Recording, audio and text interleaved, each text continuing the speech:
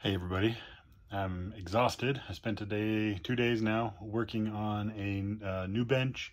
Um, this was where my old bench was. I have now uh, lowered it and put this uh, grow tent in here and I'm going to put in three large scale printers in here and uh, hopefully keep them warm during the winter and then during the summer open it up and have it uh, be breezy enough that it can uh, they don't overheat during the summer but this is my solution for working in the garage during the winter.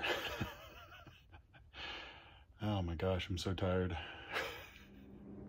now you're probably wondering, how the heck is he going to see anything in this cave?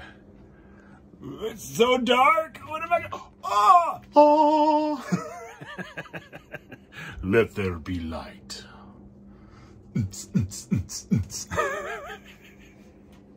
I put LED lights in it. Pretty cool, huh? Buddy. Next, I'm going to install the printers.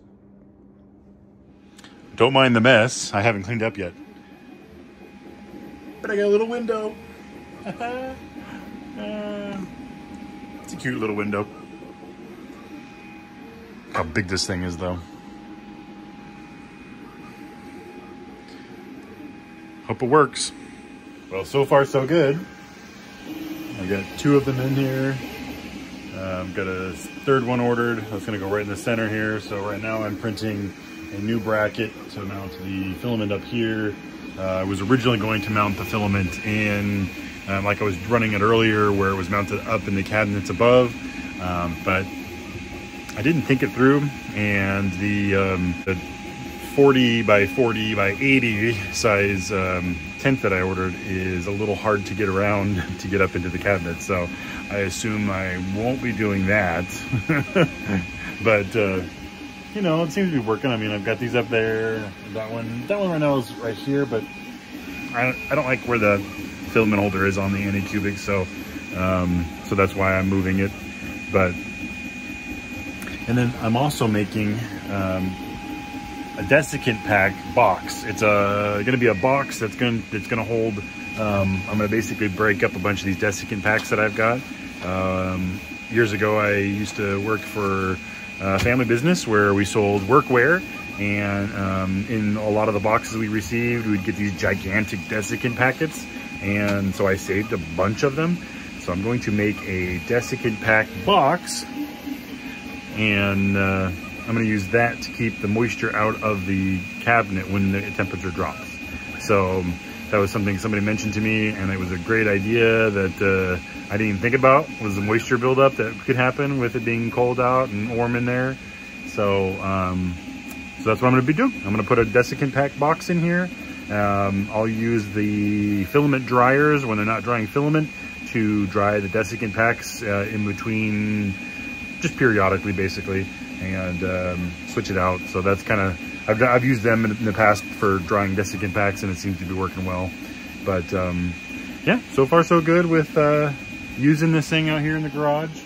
It's, uh, I got a big mess to clean up because I, I tore apart my garage to, to set this up. But, you know, I had to cut my bench down quite a bit.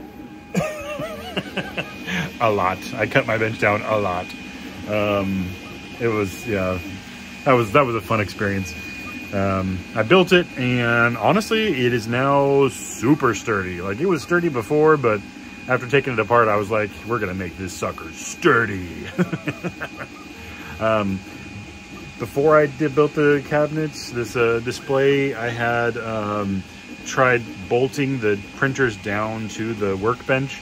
Um, I actually liked that idea better. I, I think it did make it a little bit I think it helped the shaking of the printer a little bit, but um, honestly, I, I, don't feel like drilling holes in this new brand new tent um, to put, you know, printers on and, you know, bolt printers down. So I'm probably not going to do that right now.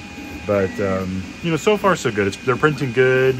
The, um, you know, it's staying warm in here when I have the this cover off. Right now there's a cover that I can just flap open, flap close. Uh, technically, there's one up there too. So during the summer when it heats up and I don't want these things overheating, I'm just gonna open this up and then I'm gonna open this big one up and we should be good. So and I could probably put a fan system in here. You know, it's a grow tent, so it's technically designed for fans and, and air filtration and that sort of thing. So um, I have it. I actually have a second one of these that I bought uh, uh, about a year ago, and it's going to be a paint booth. So um, I'll try to post that up once I get everything built. It'll be going in the corner back there where all that junk is. So I'm going to build a basically an indoor paint booth for my garage.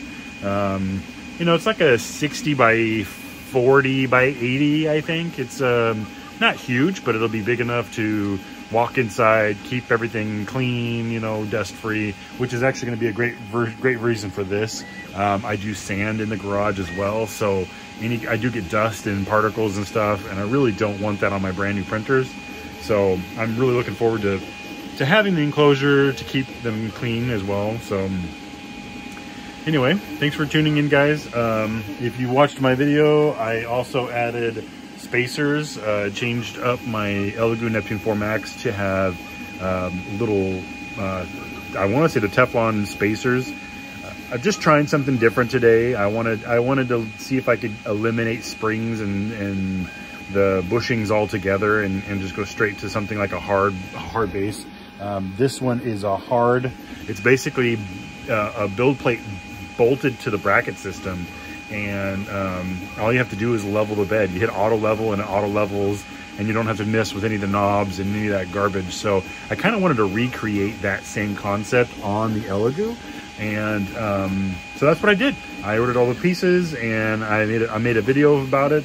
Um, I didn't go into depth on installing it, but if all goes well and this works for me, I'm, I'm kind of testing it right now.